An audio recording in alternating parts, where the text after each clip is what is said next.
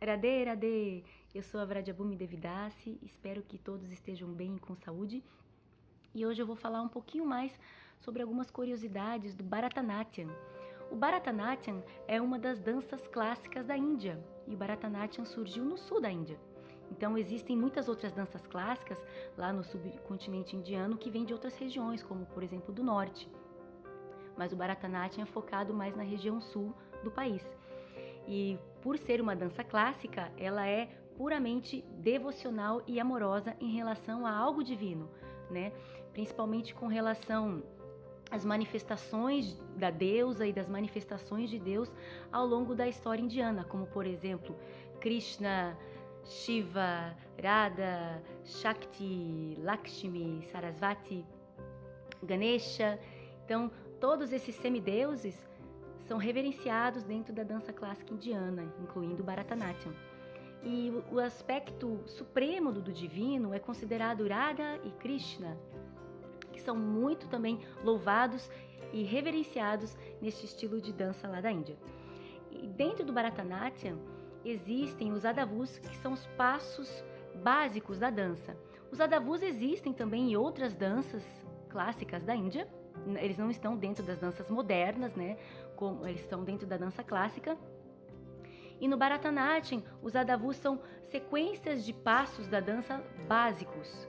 E dentro dessas sequências básicas de passos de dança se, se originam outros adavus, né? Ou se originam outros passos da dança. Então, dependendo da escola de Bharatanatyam ou do mestre, do guru de Bharatanatyam, vão existir mais adavus ou menos, né? Tem escolas que trabalham com mais de 100 adavus, né, com 108 adavus, ou às vezes até com menos. Mas isso vai depender da escola e do guru. Então não existe assim um número fixo e igual para todas as escolas, né? E dentro do Bharatanatyam, ele, como ele era, como ele é uma dança devocional, ele antigamente era somente apresentado dentro dos templos. Então as bailarinas, né, ou as dançarinas desse estilo de dança eram chamadas de devadasis. Elas dançavam unicamente para as deidades, né, que estavam dentro dos templos, nos altares dos templos da Índia.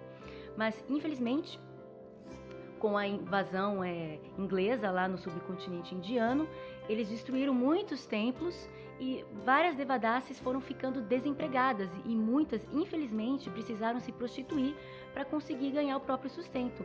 É, para vocês terem uma ideia, o emprego, o trabalho de uma devadasi, ele era muito bem visto. Né? Elas eram tidas em, na mais alta estima pela sociedade indiana, porque elas serviam diretamente ao divino. Né? Então elas moravam dentro dos templos, e elas faziam essas apresentações unicamente para as deidades dos templos. O Bharatanatyam não era uma dança pública. E daí é quando elas iam dançar para as deidades, muitas pessoas às vezes ficavam intrigadas e queriam espiar para ver se conseguiam ver né, as bailarinas dançando, mas só era permitido às deidades assistirem essa performance altamente qualificada.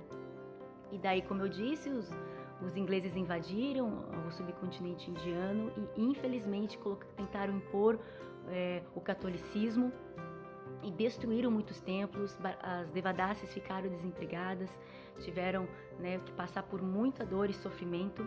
Mas é, Arukmini Devi Arundali, que ela foi uma das responsáveis por reavivar o Bharatanatyam na Índia. Arukmini Devi Arundali ela nasceu em 1904 e faleceu em 1986. Ela faleceu com 81 anos e durante toda essa trajetória dela, ela, ela era muito ativa para reviver o Bharatanatyam. Então, se a gente hoje aqui no Ocidente, aqui no Brasil, a gente conhece o Bharatanatyam, é graças a Rukmini Devi. Claro que é graças aos esforços de muitas pessoas, mas o foco principal foi a Rukmini, que ela que foi a gênese, né, que deu o start para tirar o, o Bharatanatyam de fora da Índia e reviver esse movimento né, da dança clássica indiana. E então Arukmeni fez muitas coisas legais, não só pro, no, na dança clássica, mas ela também era uma ativista dos direitos dos animais. Então ela era considerada uma pessoa é, muito importante, uma pessoa muito boa e que fez muitas coisas boas e importantes para o país, né? O país dela, a Índia. Então é, essas são algumas curiosidades, né, do Bharatanatyam. Esse nome da Rukmini, ele é, assim, toda bailarina que se preze de Bharatanatyam tem que conhecer um pouquinho que seja sobre a Rukmini, né, que é graças a elas também que nós hoje podemos desfrutar dessa dança clássica. Espero que vocês tenham gostado desse vídeo e agradeço muitíssimo. Hare Krishna, Radhe Radhe!